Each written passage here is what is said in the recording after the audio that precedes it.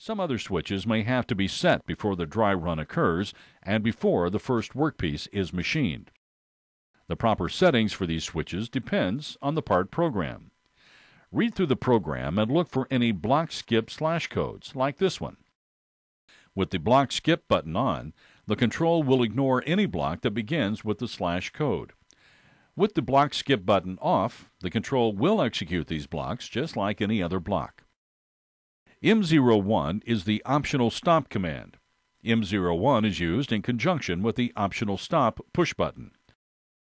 The optional stop button is normally set to on during the first or trial run.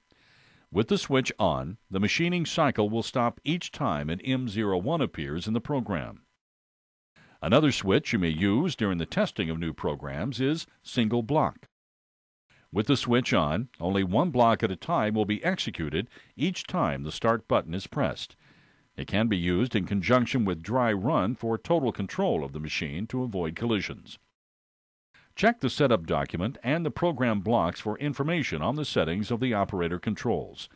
When all of the operator controls are properly set, the dry run can be performed. The jog feed override should be set at near 70% during the dry run as a starting point. With the machine door closed, the program is started by pushing the Start button.